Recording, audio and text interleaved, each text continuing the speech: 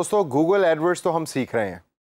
और I am very sure कि अब तक आप उसकी प्रैक्टिस कर करके उसमें महारत भी हासिल कर चुके होंगे। और अब थोड़ी देर के बाद आप, हो सकता है कि एडवर्टाइजमेंट कैंपेन शुरू भी कर दें गूगल एडवर्ड्स के प्लेटफॉर्म को यूज़ करके। लेकिन ये वाला सेशन बहुत ज़्यादा इंपॉर्टेंट है। इसका ज़रा टाइटल देखिए। इसका टाइटल है art of writing an ad यानी कि इश्तहार लिखने का आर्ट हुनर।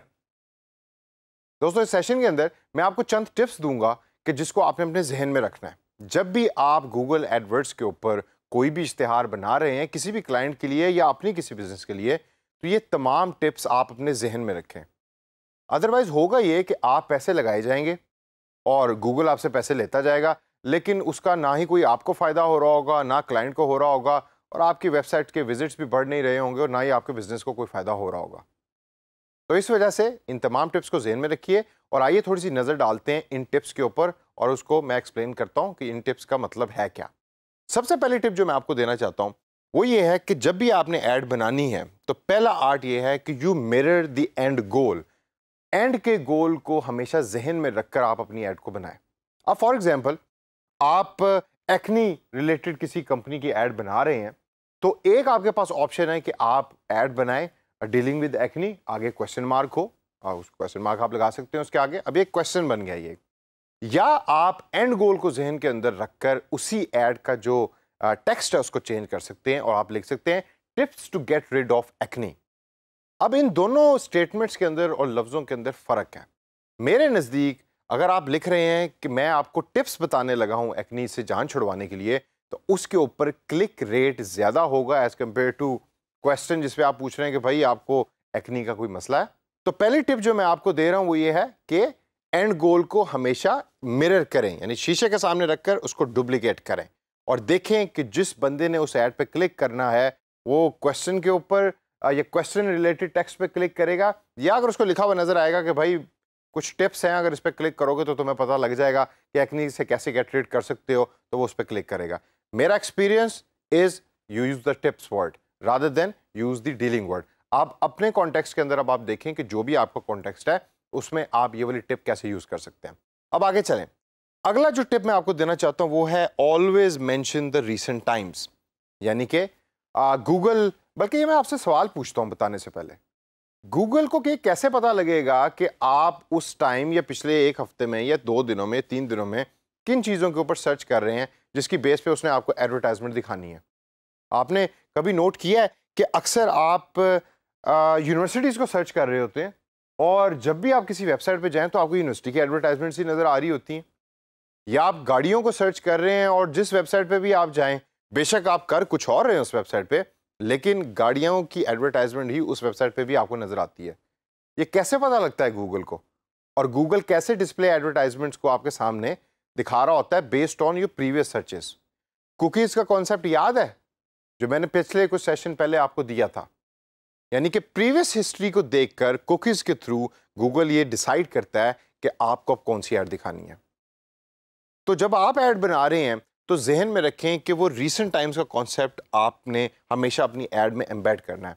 यानी कि आपने ऐड बनाई कि गाड़ियों रिलेटेड कोई आपकी ऐड है कार परचेज है कार सेल की तो आपने गूगल को ये इंडिकेट कर दिया कि मेरी वो ये ऐड उन तमाम लोगों को दिखाओ कि जो गाड़ियों को के बारे में सर्च कर रहे हैं। लेकिन अब एक तरीका है कि आप अपने ऐड को लिखें need to sell your car today ये भी एक तरीका है। आ, आपके ख्याल में लोग उस पर क्लिक करेंगे। या दूसरा तरीका ये है we will buy your car today अब इन दोनों स्टेटमेंट में आप फ़र्क देख रहे हैं।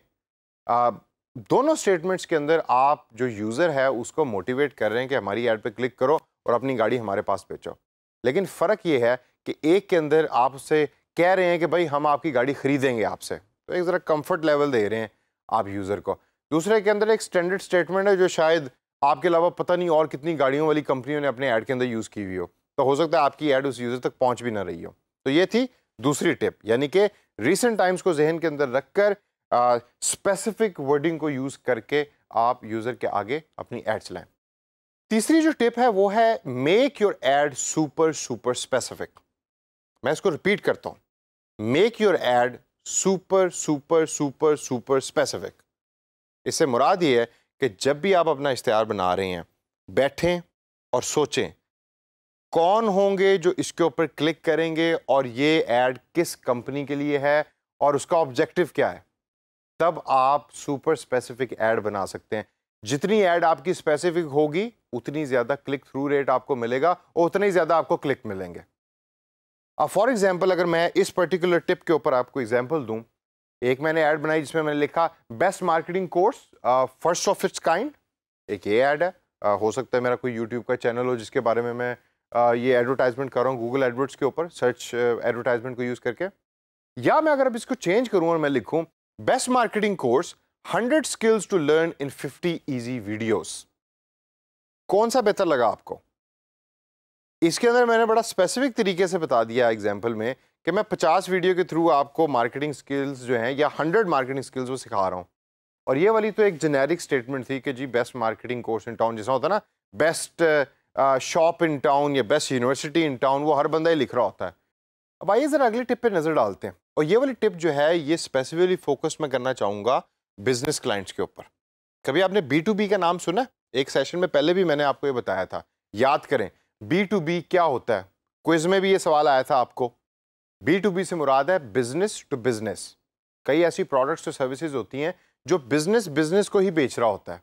जिस तरह प्रिंटिंग पेपर है, एक तो होता है ना कि प्रिंटिंग पेपर बनाने वाली कंपनी डायरेक्टली कंज्यूमर को बेच रही है, यानी कि इस्तेमाल करने वाले को बेच रही है।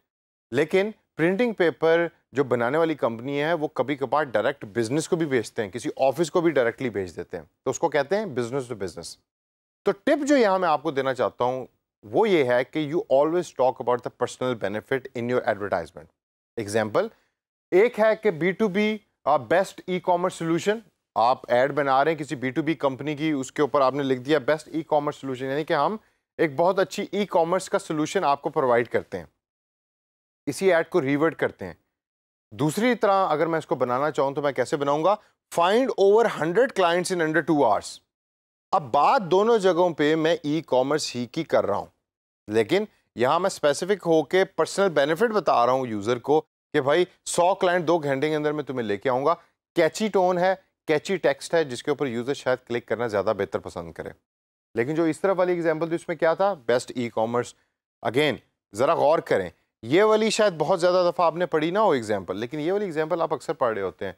कभी भी आप ई कॉमर्स सोल्यूशन के बारे में लिखें तो आपको अक्सर इसी तरह लिखा हुआ नज़र आता है बेस्ट ई कॉमर्स सोल्यूशन लेकिन ये जो क्लाइंट्स और दो घंटे वाली बात है, बड़ी कैची है और शायद यूज़र इसके ऊपर क्लिक करना ज़्यादा पसंद करेगा। अब आइए अगले टिप पर नज़र डालते हैं। अगली टिप है बी लोकल की। क्या मुराद है इससे? यानी कि जिस जगह के लिए आप एड बना रहे हैं, वो लोकलाइज्ड हो। अगर आपने लाहौर के लिए बनानी है या पंजाब के लिए बनानी है तो वो पंजाब फोकस्ड हो कॉन्टेक्स्ट वो वाला हो। बैंक की अगर मैं एग्जांपल लूँगा जिस तरह मैं अभी लाहौर में हूँ अगर तो बैंक की अगर मैं ऐड बनाना चाहूँगा तो मैं एक, ये मेरे पास एग्जांपल है बेस्ट बैंक ऑफ़ पाकिस्तान इसकी ऐड बना लूँ। कभी सुनी है, कभी देखी है, इस तरह की ऐड आपने? हंड्रेड परसेंट देखी होगी आपने। अक्सर बैंक से लिख रहे होते हैं बेस्ट बैंक इन पाकिस्तान इसका दूसरा तरीका भी है। अगर मैं लिखूँ come to our Gulberg branch we will help you save money अब ये वाली ऐड जा रही है लाहौर के लोगों तक। अब अगर लाहौर का कोई बंदा पढ़ रहा होगा तो हो सकता है कि बेस्ट बैंक इन पाकिस्तान की एड को वैसे स्क्रोल अप स्क्रोल ऑन कर दे। लेकिन जब उसके सामने स्पेसिफिक गुलबर्ग की ब्रांच का लिखा हुआ आ रहा है तो क्लिकेबिलिटी शायद कंपेरेटिवली ज़्यादा होगी as compared to generic statement के जो दूसरी एड में आपने यूज़ की। तो इस वजह से ए टिप थी कि ऑलवेज बी लोकल जिस जगह के लिए आप ऐड बना रहे हैं, उसको सर्च करें और देखें कि अगर वो के पी के रिलेटेड ऐड बना रहे हैं तो पश्तो लैंग्वेज को यूज़ करके अगर कोई फ़ायदा हो सकता है तो उसको यूज़ करें। लोकलाइज रखें उसको लोकेशन वाइज ठीक है? अगली टिप देखते हैं कि अगली टिप क्या है। अगली टिप है कि always use include to action यानी कि जो भी आप एडवर्टाइजमेंट बना रहे हैं, उसमें मोटिवेट करें यूज़र को, उसके ऊपर क्लिक करने के लिए। कोई एक्शन बटन होना चाहिए। सीटीए याद आया कुछ? लाल कलर का सब्सक्राइब का बटन यूट्यूब के ऊपर सी टी ए के button sends message sends email सब कुछ पहले सेशंस में हम देख चुके हैं। एग्जैक्टली exactly यही चीज़ है यहाँ। एग्ज़ाम्पल देखते हैं। एक इसकी एग्ज़ाम्पल है कि आप लिखें best T shirts in town quality fabric to wear standard example बिल्कुल जेनेरिक ज़्यादातर लोग यही कीवर्ड्स यूज़ करते हैं और इसी तरह की स्टेटमेंट यूज़ करते हैं।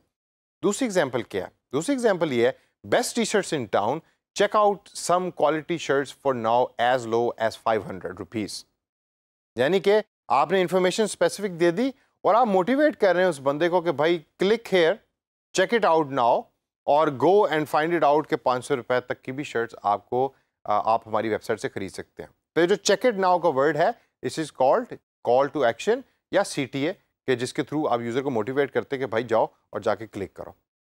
अब इससे अगली टिप है कि always match your landing page landing page क्या होता है? क्यों भाई? कंप्यूटर साइंस वाले बताओ ज़रा कि लैंडिंग पेज किसको कहते हैं? लैंडिंग पेज से मुराद ये कि जब आपने ऐड पे क्लिक किया तो जिस वेबसाइट पे आपको वो ऐड लेके गई है, उसको लैंडिंग पेज कहा जाता है। Always match the content of landing page with the text in the ad जो भी आपने एडवर्टाइजमेंट में इश्तेहार में लिखा, उसको मैच करो लैंडिंग पेज के ओवरऑल टेक्स्ट के साथ ओवरऑल कंटेंट के साथ। क्यों करना है? ये आगे जाके मैं आपको बताऊँगा जब हम क्वालिटी स्कोर के बारे में और एड रैंक के बारे में पढ़ेंगे। अभी इतना ही। और लास्ट और मोस्ट इंपॉर्टेंट टिप जो अक्सर हम भूल जाते हैं कि मोबाइल ना भूलें। मोबाइल स्पेसिफिक एडवर्टाइजमेंट्स बनाएँ मोबाइल को जहन में रख के एडवर्टाइजमेंट बनाएँ। ज़्यादातर कंजम्पशन इंटरनेट की अब मोबाइल फ़ोन के ऊपर हो रही है। तो अगर आप अभी भी डायनासोर्स की तरह पुराना डेस्कटॉप और लैपटॉप रिलेटेड एडवर्टाइजमेंट बना रहे हैं तो चेंज करें अपने आप को।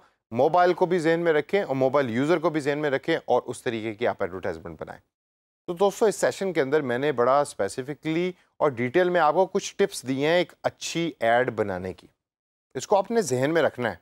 इसको ऐसे थ्योरी समझ के भूलना जाए कि भाई बातें बूतें कर ली, ठीक है, चलो होगा होगा, नहीं होगा तो कोई ऐसा मसला नहीं है। ये सारी टिप्स वो हैं कि अगर आप यूज़ करेंगे ना तो हो सकता है कि आपकी गूगल एडवर्ड्स की जो कैंपेन है, उसका रिज़ल्ट बहुत अच्छा है बाकी तो अल्लाह जानता है और आपकी अपनी स्किल्स जानती हैं।